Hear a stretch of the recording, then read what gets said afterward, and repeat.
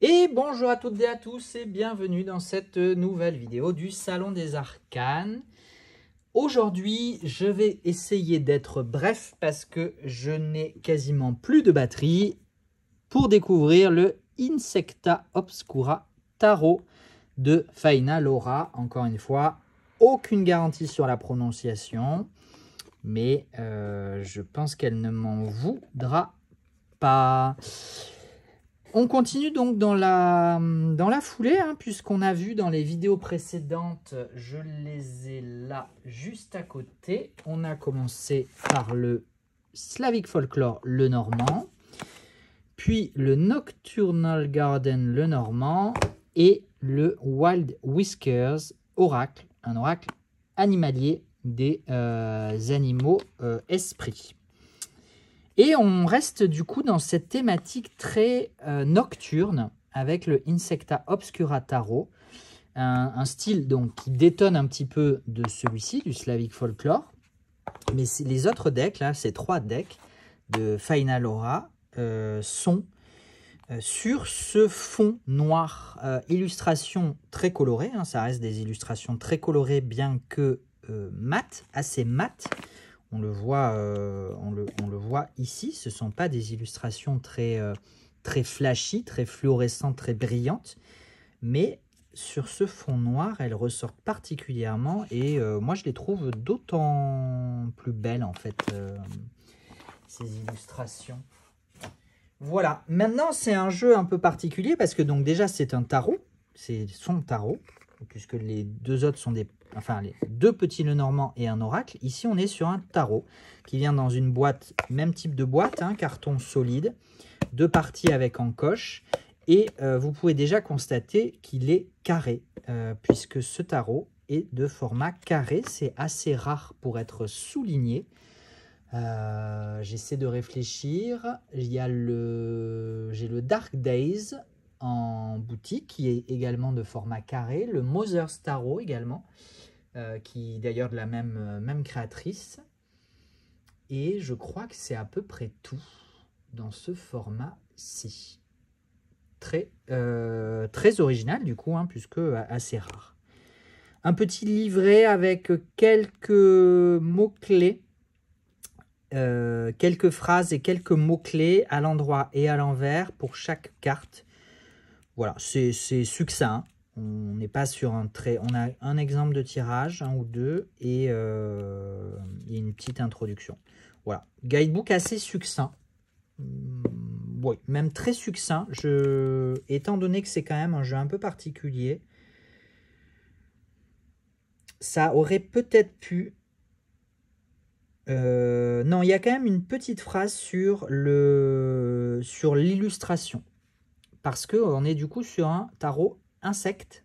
Et donc, euh, l'association entre l'insecte et la carte peut, euh, peut laisser un petit peu sceptique. Et donc, on a quand même une petite phrase euh, qui, qui juste indique l'insecte avec éventuellement sa position ou un objet qui peut l'accompagner ou un symbole qui peut l'accompagner et euh, est-ce que ça, peut signifier, ou en tout cas ce que ça signifie pour, euh, la créatrice? Voilà. Euh, le dos de carte est, est, réversible, enfin même étant donné qu'il est carré, vous pouvez le mettre dans n'importe quel sens. Voilà. Et eh ben on y va, parce que je vous disais, je suis un petit peu contraint par le temps de ma batterie, et puis je ne vais pas pouvoir vous détailler plus que ça les, cartes, les, choix euh, d'illustration, les insectes et leur signification. Il y a probablement un travail de recherche et d'association. Je pense, j'espère, j'en sais rien. Puis, puis si c'est pas le cas, euh, elle, euh, ça doit forcément faire sens pour elle. Est-ce que ça fera sens pour vous? Je ne sais pas. En tout cas, voilà. Dans le, petit guidebook, il y a une petite phrase qui va venir, euh, qui va venir expliquer, mais euh, est-ce que c'est suffisant pour vraiment s'approprier le jeu? Je ne sais pas. Je pense qu'il faut vraiment aimer les insectes.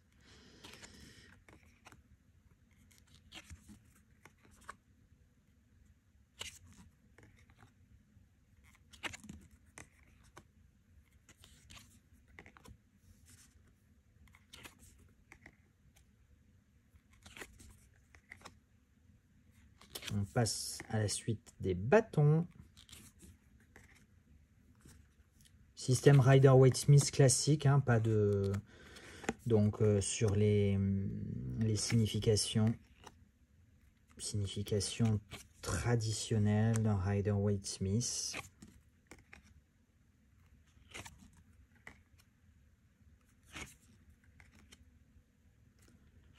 Je ne vous cache pas que euh, le tarot a quand même un peu moins de succès que les petits Lenormand de la même créatrice et, euh, même que l'oracle. La suite des coupes. Parce qu'il est, c'est pas un tarot très très très accessible. Hein. Déjà, le choix de la thématique est assez particulière et je pense que ça peut clairement repousser certains et certaines d'entre vous. Mais le, bah, du coup, l'illustration, la symbolique, elle est assez minimaliste, donc euh, il faut, se l'approprier.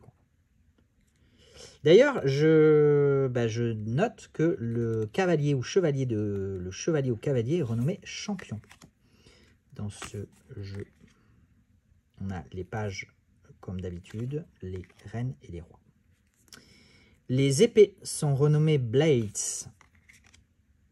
Blades au lieu de Swords. Bon, c'est juste un terme euh, un petit peu différent, mais la signification demeure la même. Comment on pourrait traduire Blades? Par une lame, je pense c'est comme ça, moi, que instinctivement, je l'aurais traduit.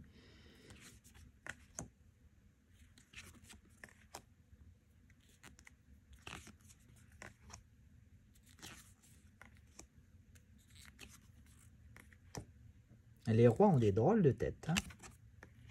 Et on finit par les orbs pour les deniers ou les pentacles. Les orbs. On pourrait traduire par quoi? Un orbe. Ça existe en français, un orbe? Oui, je pense. Une, sphère? Hmm? Quelque chose comme ça.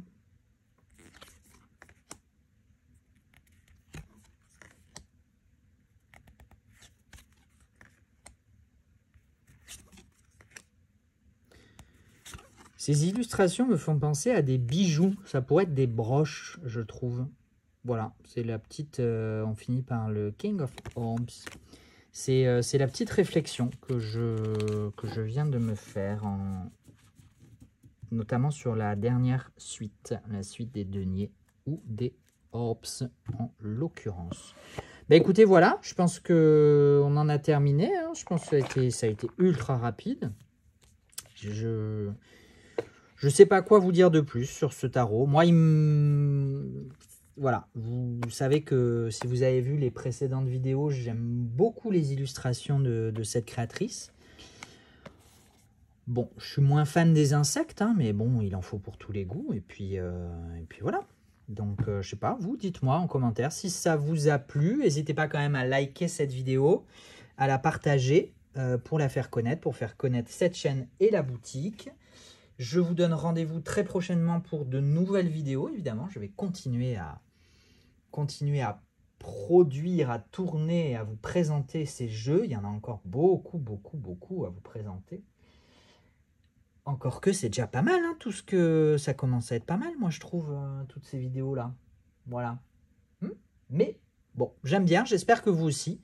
En tout cas, moi je compte bien continuer. En attendant, je vous souhaite de prendre soin de vous et je vous dis à très bientôt. Ciao, ciao